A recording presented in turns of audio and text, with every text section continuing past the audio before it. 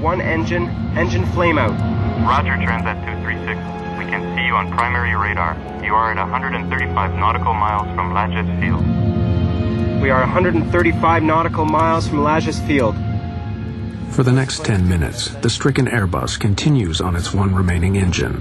The pilots still believe that the computer may be partly faulty and that they can make it to Lajes with fuel to spare. At the end, might be all right. Fuel gauge is falling fast, though. It's, it's nearly hitting zero.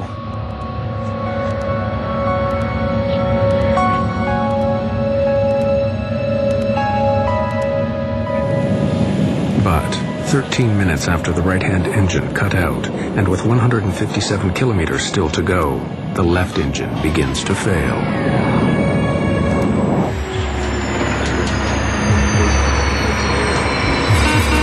We're losing number one. Mayday, mayday, mayday. We have lost both engines due to fuel starvation. We are gliding now.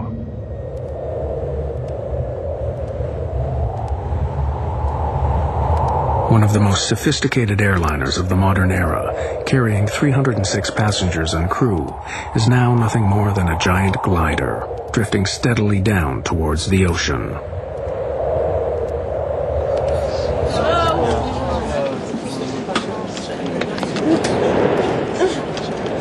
It doesn't work. I tried it. Excuse me, can somebody come? Third shift. Where's the flight attendant? Hello? Um, you can literally hear a pin drop. The, the, the exterior, was no sound in that plane, in that cabin at all. A lot of people were praying and um, screaming for God. List of functions we've lost. We have no more stabilizer. Blue and yellow hydraulic. No ADR 2 and 3. No anti-skid. No reversers. Rudder trim. Radio HF 1 and 2. With the loss of both engines, we have no electrical system. If the engines aren't running, the generators aren't running.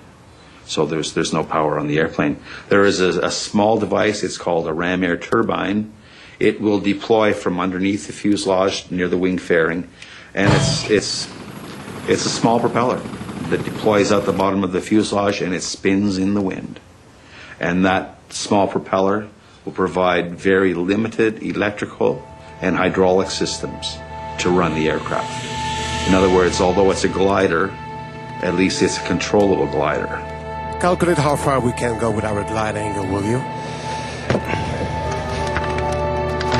Well, we're now at 30,000 feet at the rate of descent of 2,000 feet per minute.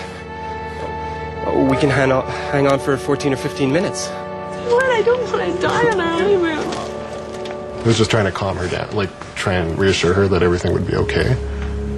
It's a very big struggle um, to stay calm when you're considering your own death. Without power, the plane loses 1,000 feet in height for every 5 kilometers it travels forward. They can reach the Azores, but if the pilots make a mistake, they may face a forced landing on the water. We have to ditch in the water.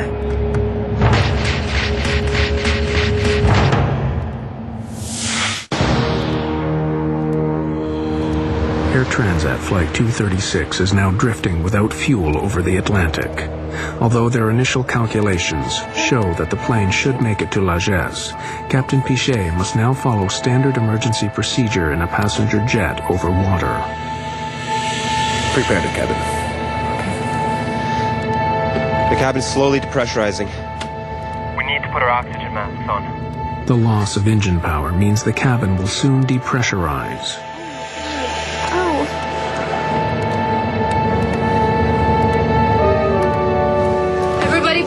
Need your attention. We're preparing to ditch the plane. I need you to put on your life jackets right now.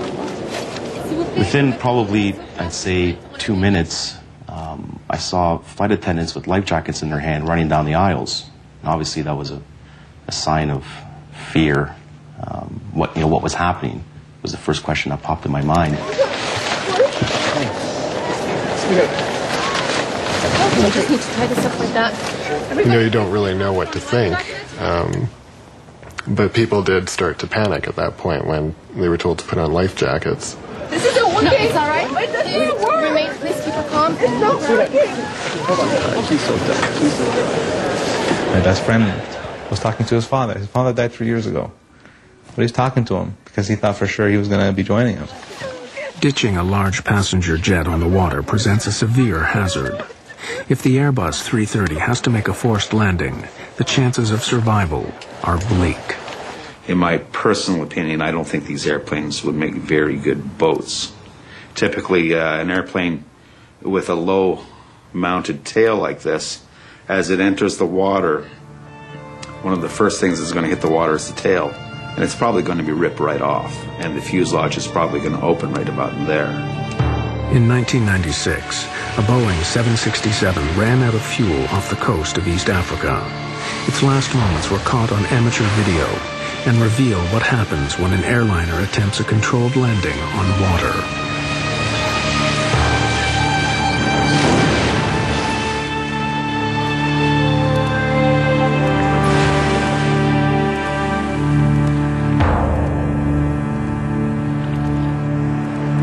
Of the 175 people on board the Ethiopian Airways jet, only 50 survived.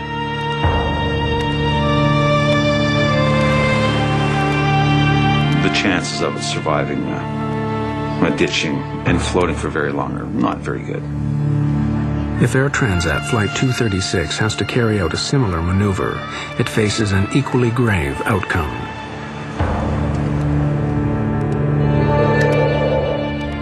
With over 100 kilometers before they reach the Azores, the pilots face a long and difficult maneuver. They need to keep the plane gliding for more than 15 minutes to reach the Azores.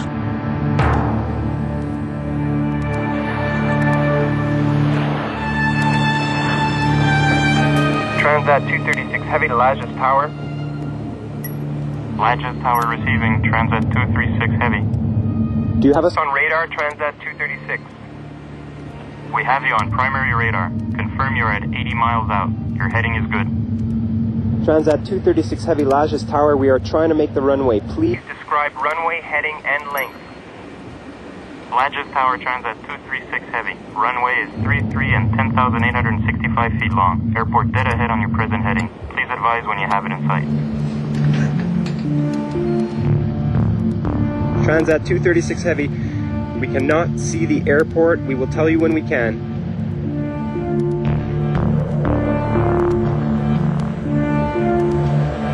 As the minutes tick by, the long wait for those on board is agonizing. That's it. That's this is it. This is it's over.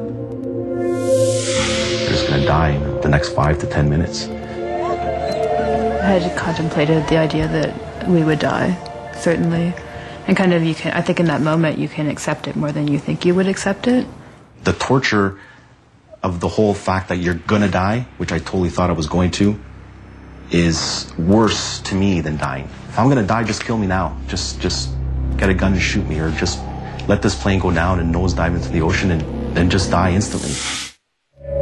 On the ground, emergency services prepare for the crash landing of a fully loaded airliner.